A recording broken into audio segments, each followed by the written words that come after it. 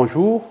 Une fois de plus, je suis en face de vous, professeur de sciences physiques, euh, M. Makita Kaya Martin, pour continuer le cours de physique sur les différents types de mouvements en cinématique que nous avions commencé la fois dernière.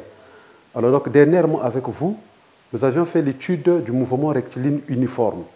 On sait que le mouvement est rectiligne lorsque la trajectoire est une droite. Et le mouvement rectiligne et uniforme lorsqu'au cours de ce mouvement, le vecteur vitesse est constant. Et lorsque le vecteur vitesse est constant, l'accélération est nulle. Ça, c'est juste pour revenir sur ce que nous avions vu la fois dernière. Cette fois-ci, nous allons faire l'étude des mouvements rectilignes uniformément variés. Que pouvons-nous dire du point de vue de la définition? Un mouvement rectiligne est dit uniformément varié si son vecteur accélération instantanée est constant. Donc nous disons un mouvement. Un mouvement rectiligne. Est uniformément varié si son vecteur accélération instantanée si son vecteur accélération instantanée est constant. Voilà ce qu'il faut retenir de la définition d'un mouvement rectiligne uniformément varié. Alors que dans le cas du mouvement rectiligne uniforme, l'accélération instantanée est égale à zéro parce qu'à ce moment-là, c'est la vitesse qui est constante. Bon, maintenant, comment faire cette étude? On fait cette étude, par exemple, en déterminant l'équation horaire. Alors, quelle est l'expression de l'équation horaire du mouvement? Mais avant cela, nous allons commencer par l'expression de la vitesse. Expression de la vitesse ou équation horaire de la vitesse? Disons ici équation horaire. Équation horaire de la vitesse. Alors, quelle est donc l'expression de la vitesse dans le cas d'un mouvement rectiligne uniformément varié? Alors, nous allons établir ensemble l'expression de la vitesse. Alors, nous avons dit que dans ce cas, l'accélération A, qui est la dérivée de la vitesse par rapport au temps, est une constante dans le cas du mouvement rectiligne uniformément varié. Alors, ce qui veut dire autrement que la différentielle de V est égale à A fois la différentielle de T. Or, la vitesse varie entre V0 et V. V0, c'est la vitesse à l'instant initial, et V, c'est la vitesse à un instant T quelconque. Alors, donc, à ce moment-là, nous pouvons intégrer, donc je dis en intégrant, en intégrant, nous avons donc l'intégrale de la différentielle de V, V variant de V0 à V est égal à l'intégrale de A différentielle de T, T variant de T0. Donc ici, euh, nous sommes sur euh, l'intégrale de la différentielle de V, comme je l'ai dit tout à l'heure, V variant entre V0 et V, et l'intégrale de la différentielle de, l'intégrale de A différentielle de T, T variant entre T0 et T. Or, l'intégrale de la différentielle de V, c'est la primitive de la différentielle de V qui n'est autre que V. Alors donc ceci nous donne quoi? Nous avons V moins V0 parce que cette grandeur qui est la vitesse varie entre V0 et V qui est égale à A. Pourquoi A? Parce que A est une constante qui n'est donc pas concernée par l'intégrale. Donc ça nous donne A intégrale de la différentielle de T, T variant entre T0 et T. Donc ceci nous donne finalement, or cette, différence, cette intégrale nous donne simplement T. Donc nous avons A facteur de T moins T0.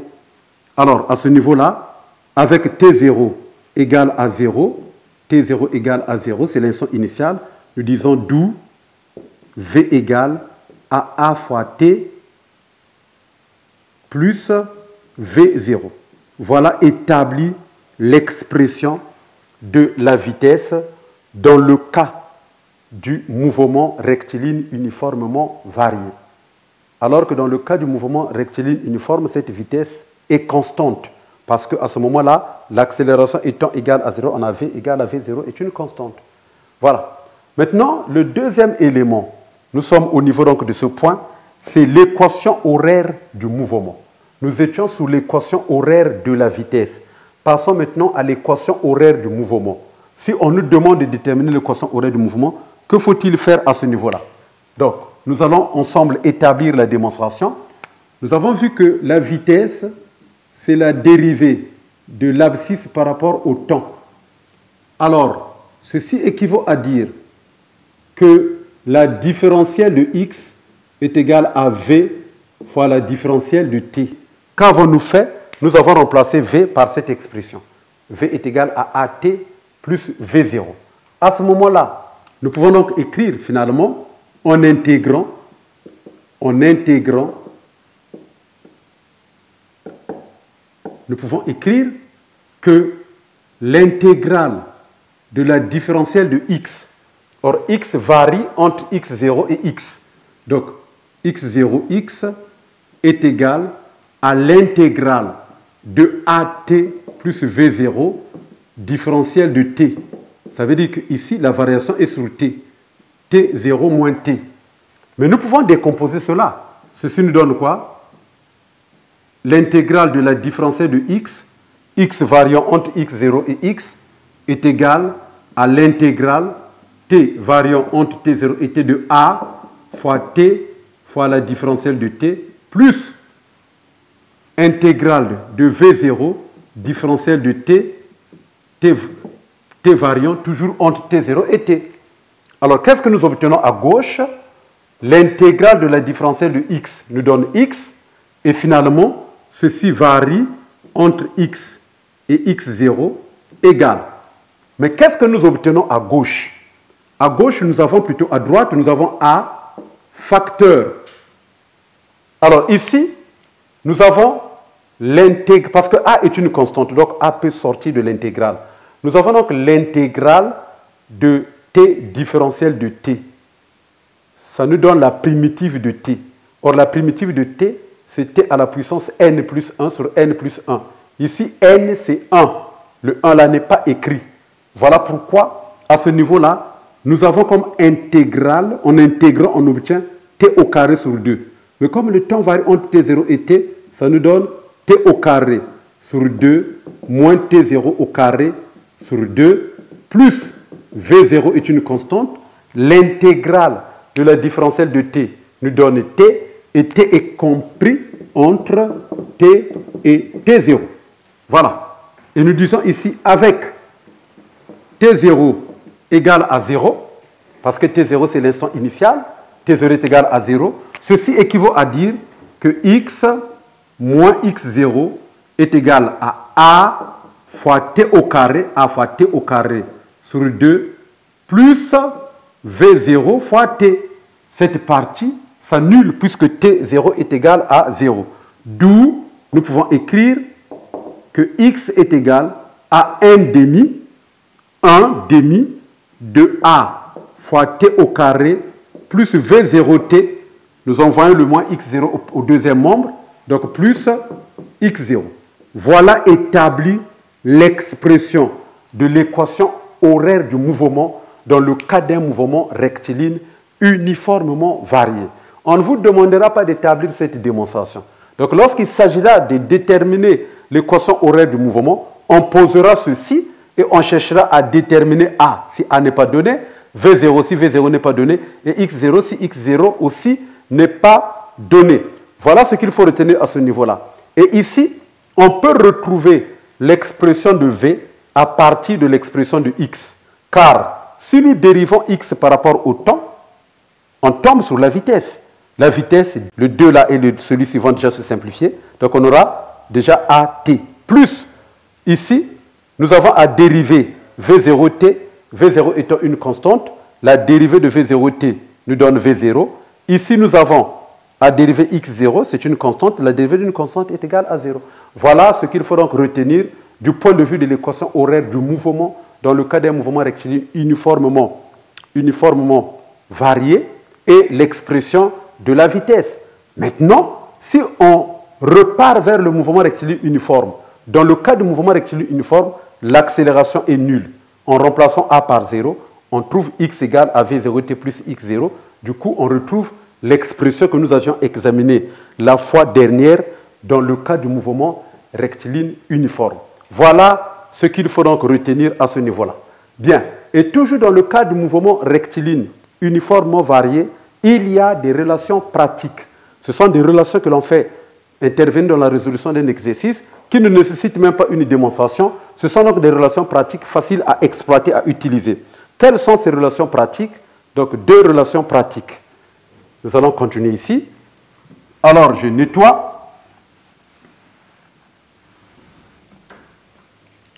Et je vais écrire au 1, 4, 4, relations pratiques. Relations pratiques. Alors, quelle est la première relation pratique? Nous disons petit a, relation vitesse-temps. Relation vitesse-temps, selon laquelle delta V est égal à A fois delta T. Relation vitesse-temps. Voilà. Nous pouvons nettoyer à ce niveau-là.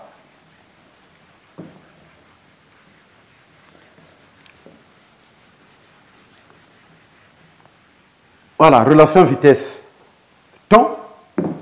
Alors, on a dit tout à l'heure que V est égal à AT plus V0. Cette relation qui lie la vitesse à l'accélération et au temps est déjà une relation entre la vitesse et le temps. Maintenant, si nous pouvons considérer deux instants donnés, à l'instant t égale à t1, la vitesse devient A T1 plus V0. Nous appelons ça première relation. Et à l'instant T égale à T2, V2, qui devient la nouvelle vitesse à cet instant, est égal à AT2 plus V0. Donc dans l'expression de la vitesse, nous remplaçons T par T2 dans le cas, dans le deuxième cas, et dans le premier cas, nous remplaçons T par T1. Mais si nous faisons la différence membre à membre des deux relations, la deuxième relation moins la première entraîne. Au premier membre, nous avons V2 moins V1 égale à AT2 plus V0 moins AT1 moins V0. On se rend compte que le V0 se simplifie. Ceci nous amène à écrire V2 moins V1 égale donc tout ça, ça se simplifie. Nous pouvons conclure que finalement, pour un mouvement rectiligne uniformément varié, la variation de la vitesse est égale à l'accélération multipliée par la variation du temps. Voilà. Ou A est égal à la variation de la vitesse multipliée, divisée par la variation de temps. Voilà. Ceci dans le cas d'un mouvement rectiligne uniformément varié. Car dans le cas du mouvement rectiligne uniforme, on a vu comme relation pratique V0 égale à delta X sous delta T. Et je vous avais dit que cette relation est celle que vous avez étudiée en classe de troisième où on dit la vitesse est égale à la distance divisée par le temps. Mais cette relation n'est valable que dans le cas d'un mouvement rectiligne uniforme. Si le mouvement n'est pas rectiligne uniforme, l'expression V égale distance divisée par le temps ne peut pas s'appliquer. Cette expression n'a pas de sens. Ici, on peut appliquer cette relation. A est égal à la variation de la vitesse divisée par la variation de t, du temps. Bien. Deuxième relation pratique. Petit b. Relation vitesse-espace. Et nous avons l'habitude d'écrire delta V au carré égale à 2A fois delta X. Bien. Relation vitesse-espace. qu'on considère généralement, généralement comme étant la relation indépendante du temps. Alors, il s'agit donc de quelle relation? On va établir la démonstration, mais au cours de la résolution des exercices, vous n'aurez pas besoin d'établir cette démonstration. Bien. Alors, nous avons dit que x est égal à 1 demi de a t au carré plus v0t plus x0. Alors là, on va appeler ça première relation. Et la deuxième, quand on dérive x, on trouve l'expression de la vitesse. Nous appelons ça deuxième relation. Alors, si on élimine le temps dans la deuxième relation pour le reporter dans la première relation, nous disons donc d'après la deuxième relation,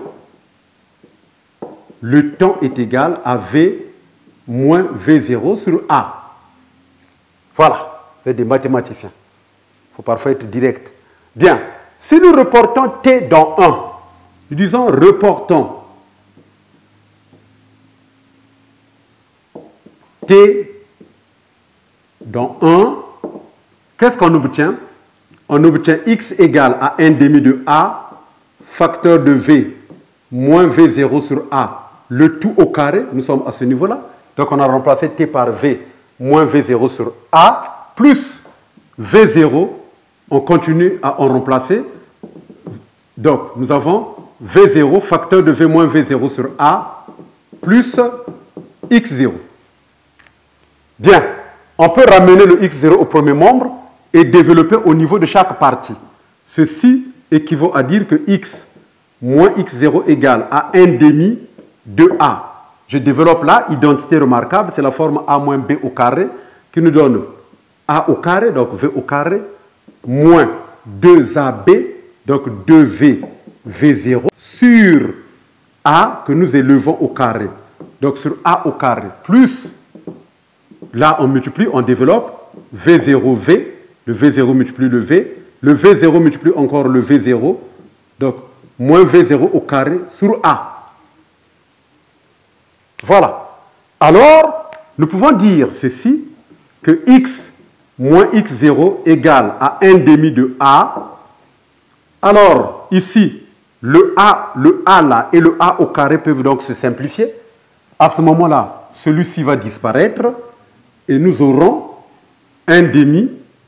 D'ailleurs, on va directement développer en faisant ceci.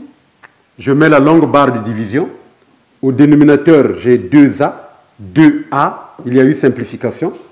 V au carré moins 2V, V0, plus V0 au carré, plus V, V0, donc V, V0, ou V0, V, c'est la même chose, moins V0 au carré sur A. Donc, nous aurons finalement X moins X0 égale. Alors, le dénominateur commun entre 2A et A, c'est 2A. Donc, sur 2A. Et ici, nous avons quoi? V au carré moins 2V, V0, plus V0 au carré, plus le dénominateur commun étant 2A. Donc là, on a multiplié par 2.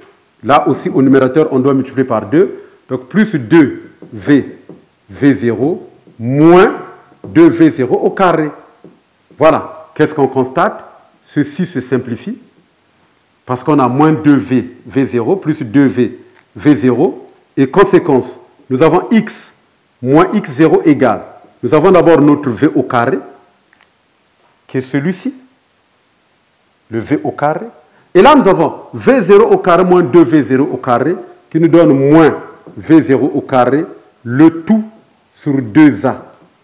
Alors, on peut donc écrire d'où, finalement, V au carré moins V0 au carré égale à 2A facteur de x moins x0. Voilà la relation vitesse-espace. Soit, de manière générale, la variation de la vitesse au carré est égale à 2A fois la variation de l'abscisse.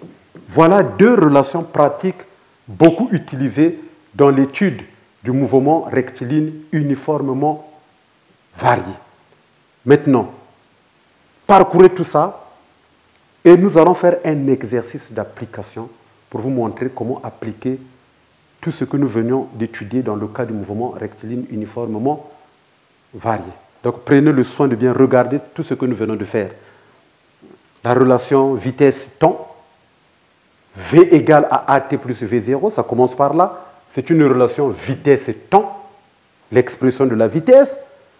On peut se retrouver dans un cas où il y a deux vitesses et deux instants, variation de la vitesse égale à A fois la variation du temps, soit A égale à la variation de la vitesse sur la variation du temps.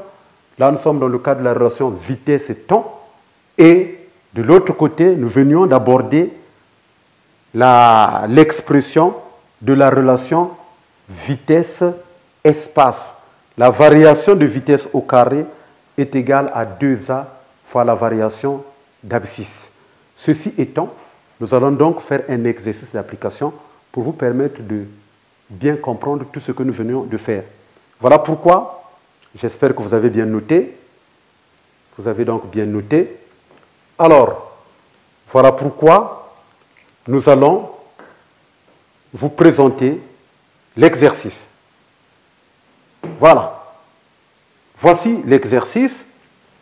Prenez le temps de le lire pour bien le comprendre.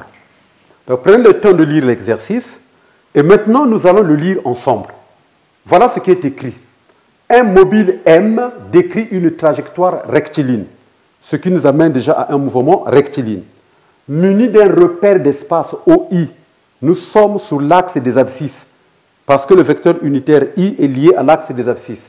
Son vecteur accélération est constant, ce qui nous permet déjà de penser à un mouvement rectiligne uniformément varié.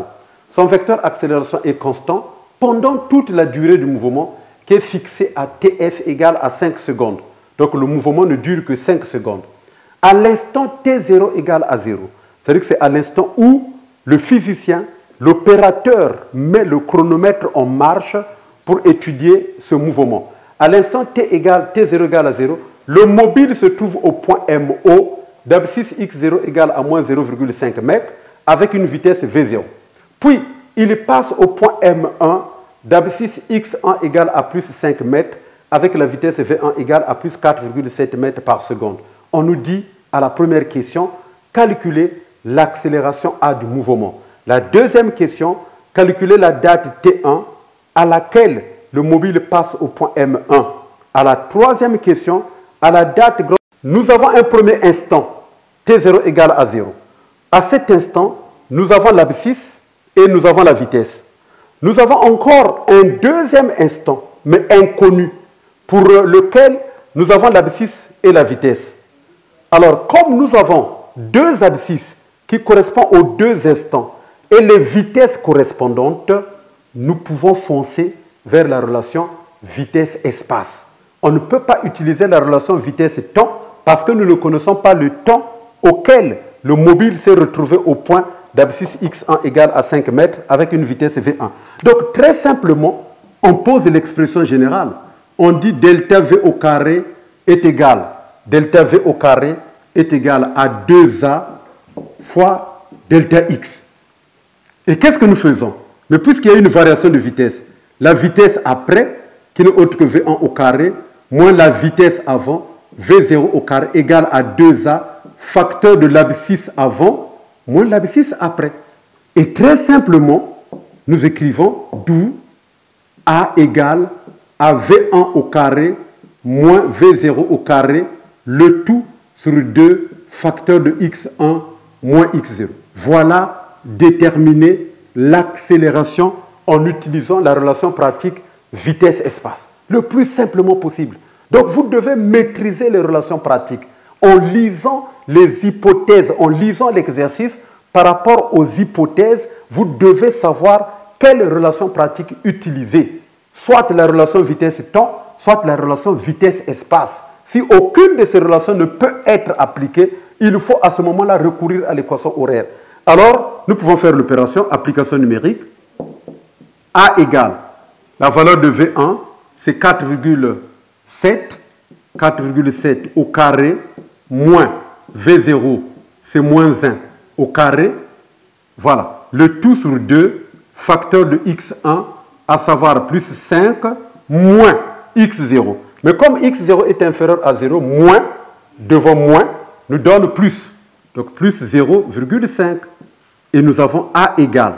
Voilà établi la valeur de l'équation horaire du mouvement.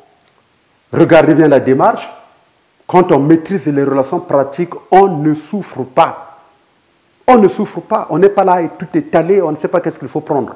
On regarde les hypothèses. Par rapport aux hypothèses, que faut-il trouver Que faut-il prendre? Ici, par exemple, le calcul nous amène à, nous amène à 1,92 mètres fois seconde moins 2. Voilà déterminer l'expression de l'accélération de ce mouvement rectiligne uniformément varié. Qu'est-ce qui nous a permis de dire que c'était un mouvement rectiligne uniformément varié? Parce qu'on a dit son vecteur accélération. Premier élément. Et le texte lui-même commence par dire accélération à du mouvement. Voilà pourquoi nous avons appliqué cette relation pratique. Bien. Maintenant, à la question, à la deuxième question, on nous dit calculer la date T1 à laquelle le mobile passe au point M1. Lorsqu'on vous demande de déterminer une date, un instant, là aussi la démarche est pratiquement la même. On regarde la présence de T qui est demandée. Est-ce que nous pouvons utiliser la relation vitesse-temps Si ce n'est pas possible, il faut qu'on puisse recourir à l'équation horaire parce que dans l'expression de l'équation horaire, il y a le temps. Mais ici, on ne peut pas utiliser la relation vitesse-espace parce que dans cette relation, il n'y a pas le temps t. Bon, donc on nous dit calculer la date t1 à laquelle le mobile passe au point M1. Est-ce qu'à cette date, nous avons la valeur de la vitesse? Nous disons oui. La vitesse a une, a une valeur égale à 4,7 mètres par seconde. Est-ce que nous connaissons déjà l'accélération du mouvement? Nous disons oui. L'accélération vient d'être déterminée 1,92 mètres par seconde moins 2. Donc, nous pouvons appliquer la relation vitesse-temps. Alors, donc, deuxièmement, deuxièmement, nous disons date T1. Alors, premièrement, que nous dit la relation vitesse-temps? La première expression, c'est V, qui est égal à A fois T1 plus V0. Ce n'est autre que l'expression de la vitesse. D'ailleurs, je présente cette expression de manière générale. V égale à AT plus V0. Donc, si nous connaissons A, si nous connaissons T, si nous connaissons V0, on peut trouver V. Or, nous connaissons A, mais nous ne connaissons pas T1, et T1 est lié à V1, et c'est T1 qu'on nous demande de déterminer. Donc, nous disons, à l'instant T égale à T1, nous avons V1 égale à AT1 plus V0.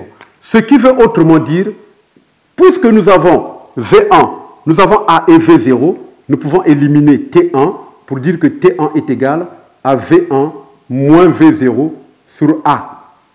Comme on pouvait aussi écrire delta V égale à A fois delta T, donc delta V c'est V1 moins V0 égale à A, facteur de T1 moins T0. T0 étant égal à 0, on a V1 moins V0 égale à AT1, et V1 égale à AT1 plus, plus, plus V0. Alors, donc à ce moment-là, on peut faire le calcul. Application numérique, T1 égale à 4,7 moins, moins 1 sur 1,92. Et nous avons T1. Vous pouvez donc faire le calcul tout en regardant ce que nous venons de faire. Regardez bien ce que nous venons de faire. T1 égale à T1 égale, oui, calculer. Je trouve ici un chiffre proche de 2,97 secondes. 2,97 secondes. 6 hein, avec des chiffres forts là, etc., etc. Voilà résolu la première partie de l'exercice. Comment établir, d'abord, comment déterminer l'accélération, comme je l'ai dit tout à l'heure. Il faut d'abord regarder du côté des relations pratiques. Après, la relation, si aucune relation pratique ne peut être exploitée pour déterminer l'accélération, on recourt à l'équation horaire. L'équation horaire, à ce moment-là, il faut avoir le temps et l'abscisse x ou la distance. Mais quand nous avons deux vitesses, nous avons, nous avons les deux vitesses, les abscisses correspondantes, il faut regarder du côté de la relation vitesse-temps parce que l'équation horaire ne pouvait pas être utilisée ici à partir du fait que nous ne connaissons pas T1. T1 n'est pas connu. Même si nous connaissons l'abscisse x1, par exemple à un instant t égale à t1, mais ici nous ne connaissons pas t1. Donc on ne peut pas utiliser l'équation horaire. Bien, ceci étant, la suite de l'exercice, on nous dit, à la date t égale à 2 secondes, un deuxième mobile m' passe par l'abscisse x1 égale à plus 5m. Nous continuons ici, la suite de l'exercice. Voilà. Donc, égale à plus 5 mètres. On dit, avec un mouvement rectiligne uniforme dont la vitesse est v' égale à 4 mètres par seconde moins 1. Petit a, établir l'équation horaire du mouvement de m', calculer la date tr de la rencontre des deux mobiles, calculer l'abscisse xr où aura lieu cette rencontre. Bien, comment faire? Alors, nous allons donc continuer avec la deuxième partie. Nous pouvons nettoyer ici. Voilà. Bien. Nous disons petit a. La question 3. Alors, s'il faut prendre les hypothèses, on dit à la date t égale à 2 secondes. Un deuxième mobile, M' passe par l'abscisse X1 égale à plus 5 mètres avec un mouvement rectiligne uniforme dont la vitesse est V' égale à 4 mètres fois seconde moins 1. On nous dit petit a, équation horaire. Équation horaire du mouvement, équation horaire du mouvement de M'.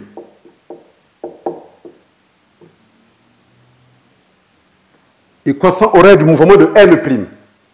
Comment établir l'équation horaire du mouvement de M'? On nous dit à la date grand t égale à 2 secondes, un deuxième mobile M' passe par l'abscisse x1 égale à 5 mètres avec un mouvement uniforme dont la vitesse est établir l'équation horaire. Bien. Euh, le mouvement de M, les informations relatives au mouvement de M' ne sont pas connues à l'instant t égale à 0. Alors que pour l'autre mobile, on a des informations à l'instant t égale à 0.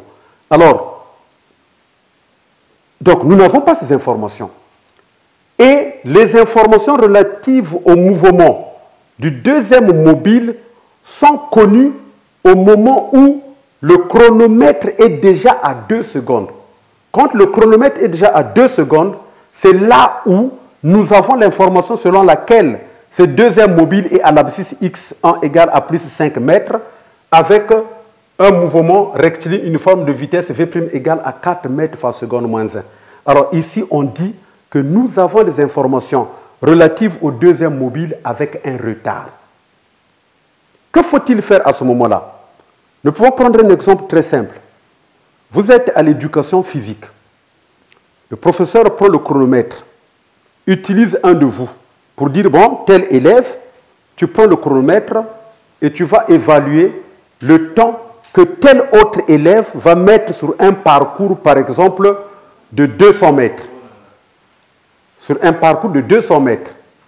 Alors, vous, vous prenez le chronomètre. Vous dites, avant Marc, prêt, partez. Mais quand vous dites avant Marc, prêt, partez, quand vous dites partez, votre collègue ne s'est pas encore engagé à partir. Vous vous rendez compte que votre collègue s'engage à partir 4 secondes après. Parce que lorsque vous avez dit avant Marc, prêt, partez, vous avez déjà enclenché le chronomètre. Et vous vous rendez compte qu'au moment où votre collègue s'engage pour courir, le chrono est déjà à 4 secondes. Quel est le temps réel que votre collègue a mis pour réaliser ce parcours? Le temps réel n'est pas 16 secondes parce que le collègue s'est engagé avec un retard de 4 secondes.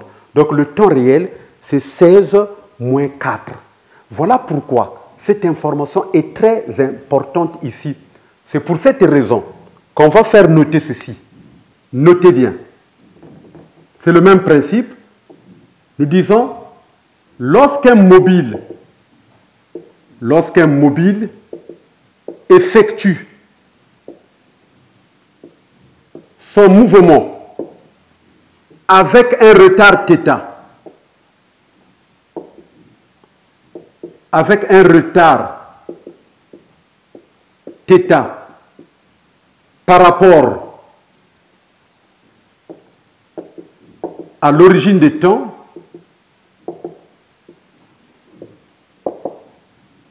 virgule, son équation est fonction de T' avec T' égale à T moins θ. Voilà la remarque qui va nous aider à établir l'équation horaire du mouvement de ce deuxième véhicule. Alors, qu'est-ce que nous écrivons donc à ce niveau-là? Nous écrivons pour ce deuxième véhicule x' égale. D'ailleurs, d'habitude, nous avons, nous écrivons, puisqu'il s'agit d'un mouvement rectiligne uniforme, nous écrivons x égale à v0t plus x0. C'est ce que je vous ai appris la fois dernière. Mais comme il y a deux mobiles, il y a le mobile M et le mobile M', pour faire la différence, nous mettons x' ici, V0' et x0' pour éviter la confusion. Mais, puisque les informations relatives à ce mobile sont connues au moment où le chronomètre est à 2 secondes, nous disons l'équation est fonction de t'. Avec t' égale à t moins grand t. Ici, pour nous, θ, c'est grand t. C'est-à-dire égal à t moins 2 secondes. À ce moment-là, qu'est-ce que nous disons?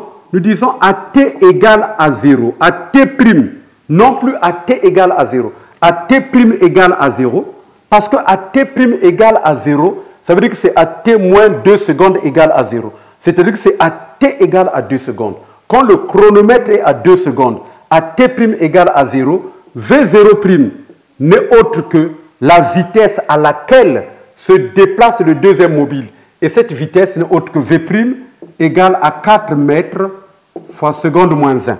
Voilà. Nous prenons cette vitesse positivement parce que nous supposons que les deux mobiles se déplacent dans le même sens.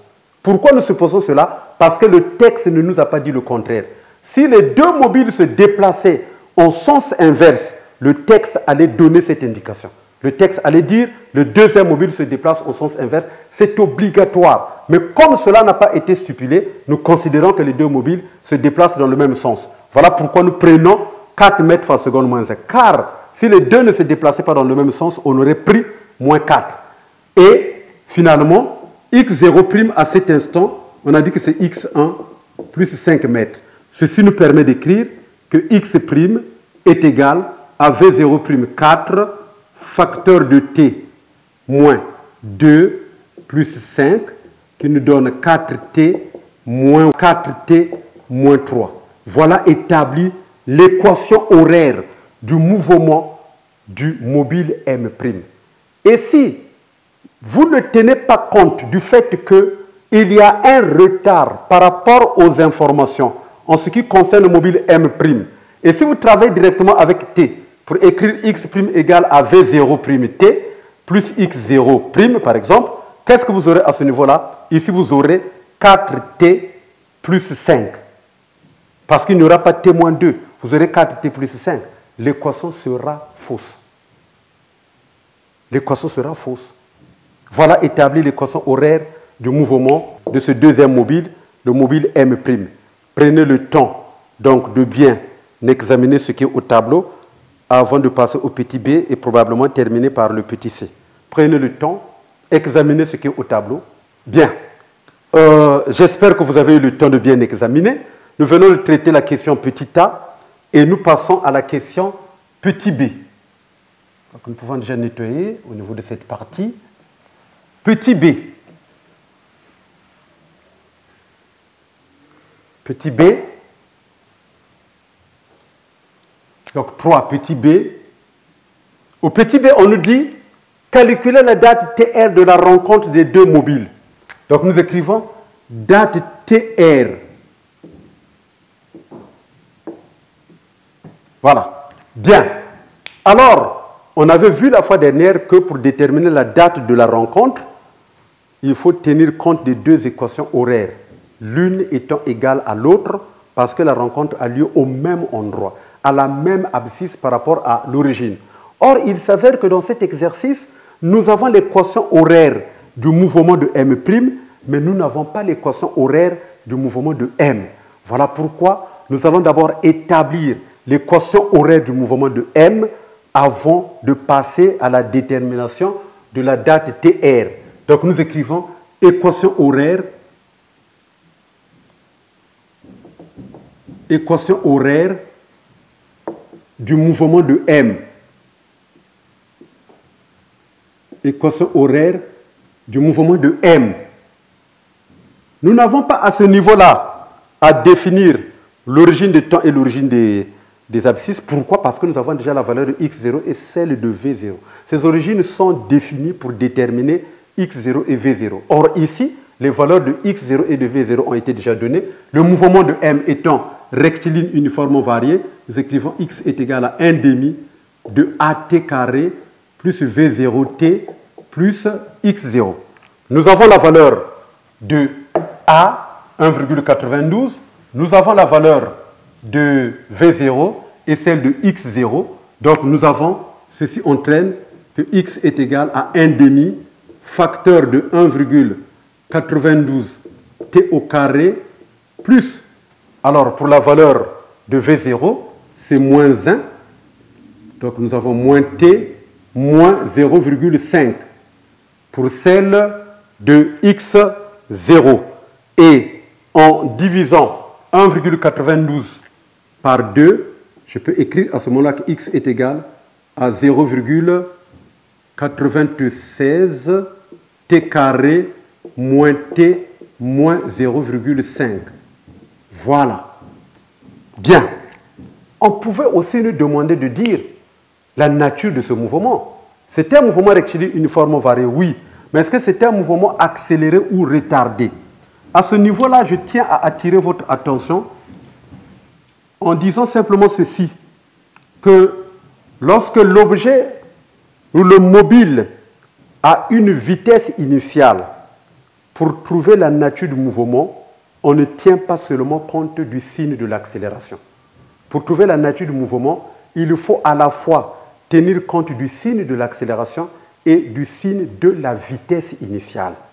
Parce que la tendance, c'est que dès que A est supérieur à 0, vous avez tendance à dire que le mouvement est accéléré. Non, nous avons une accélération positive, mais une vitesse initiale euh, négative. Le mouvement n'est pas accéléré, le mouvement est retardé. Voilà pourquoi dans l'une des remarques, nous avons écrit que lorsque le vecteur A fois le vecteur V est inférieur à 0, nous avons affaire à un mouvement qui est rectiligne uniformément retardé. Ici, V, c'est la vitesse à l'instant initial. Les deux n'ayant pas le même signe, nous avons affaire à un mouvement qui est donc retardé. Alors, à la rencontre, à la rencontre, x est égal à x'. Ce qui veut dire quoi? 0,96 t au carré moins t moins 0,5 est égal à, on a trouvé x', c'est 4t moins 3. Bon, maintenant pour faire la différence, parce que t c'est de manière générale, on peut insérer l'indice, mais ce n'est pas une obligation simplement pour dire temps de la rencontre.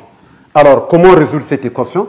Nous avons ici 0,96 TR au carré moins TR moins 4 TR.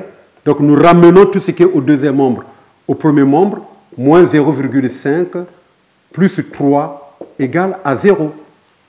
Donc, nous avons comme équation à résoudre 0,96 TR au carré moins 5TR moins, sinon plus 2,5 égale à 0. Voilà l'expression de l'équation à résoudre. Et ici, on passe donc par delta.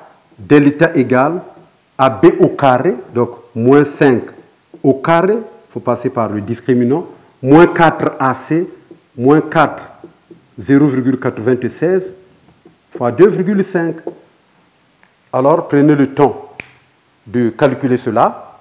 Et ceci nous donne 15,4. Alors à ce moment-là, il y a deux racines. La première, TR', et TR' n'est autre que moins B, donc 5 moins racine carrée de 15,4 sur 2A sur 2 facteurs de 0,96 égale. Et T second nous donne 5 plus racine carrée de 15,4 sur 2A sur 2 facteurs de 0,96 égale. Vérifiez. Voilà. Donc vous avez vérifié et vous trouvez 0, donc 56 secondes. Je vous laisse le temps. Alors le deuxième calcul, 4,648. Donc 4, on peut prendre 65, 648. Bien, voilà les deux valeurs. On se retrouve avec deux valeurs positives. Est-ce qu'il n'y a pas de valeur à exclure? Nous disons oui. Quelle est la valeur à exclure?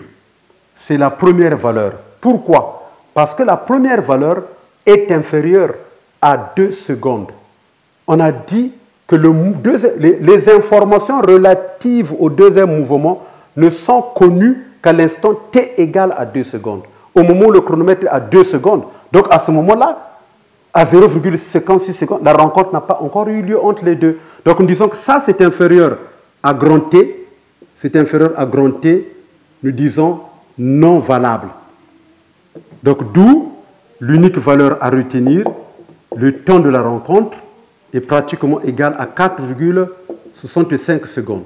Voilà. Donc 4,65 secondes après qu'on ait mis le chronomètre en marche, les deux véhicules se rencontrent. Voilà ce qui se passe ici. Et enfin, pour terminer, calculer l'abscisse XR où aura lieu la rencontre. Je peux écrire ça ici. Abscisse XR. Pour trouver l'abscisse XR, il suffit de remplacer TR dans l'une des deux équations. Par exemple, si je prends la deuxième équation, je peux écrire XR est égal à 4TR moins 5. Et à partir de là, nous pouvons faire le calcul. Alors XR est égal à 4 fois 4,65 moins 5. Alors, on trouve comme valeur de XR 15,6. Bon, calculez, hein. Calculez, on va comparer avec ce que vous allez trouver. Voilà. On trouve comme valeur de XR 13,6. Voilà. Déterminer XR. Voilà, si nous mettons l'unité comme on l'a fait pour le temps, voilà, mètre. Voilà euh, ce que nous tenions à dire sur le mouvement rectiligne uniformément euh, varié. On a fait le mouvement rectiligne uniforme, le mouvement rectiligne uniformément varié. À vous de revoir tout ce que nous venons de faire et nous nous retrouverons prochainement pour la suite de cette leçon. Merci beaucoup.